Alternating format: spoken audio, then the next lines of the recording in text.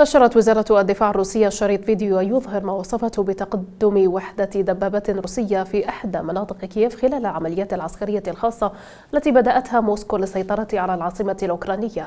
وكان الجيش الروسي قد أعلن الاثنين عن فتح ممرات إنسانية عدة وتعليق إطلاق نار في مناطق محددة لإجلاء المدنيين من مدن خاركيف وكييف وماريبول والسومي الأوكرانية التي تشهد معارك عنيفة.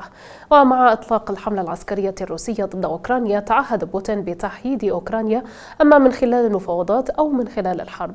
ورفض حلفاء الناتو حتى الآن دعوة أوكرانيا لفرض منطقة حظر طيران. ومن جهته هدد بوتين بعواقب وخيمة وكارثية ليس فقط لأوروبا ولكن أيضا على العالم بأسره. تم فرض منطقة حظر طيران.